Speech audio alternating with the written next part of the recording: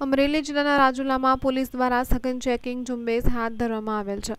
ત્યારે હાલ શહેરમાં નવનિર્મિત પીઆઈ ડોડિયા સાહેબ દ્વારા રાત્રિના સમય દરમિયાન હોસ્પિટલ ચોકમાં પેટ્રોલિંગ હાથ ધરવામાં આવ્યું અને ફોર વ્હીલ વાહનોમાં કાચમાં લગાડેલી કાળી ફિલ્મ તેમજ નંબર પ્લેટ વગેરે ચેકિંગ કરતા દંડની કાર્યવાહી કરેલ. આ કાર્યવાહી કરતા અમુક વાહન ચાલકોને ચેકિંગ છે તેવી ખબર પડતા વાહન ચાલકો શેરી ગલીઓ ફરીને નીકળી ગયા હતા.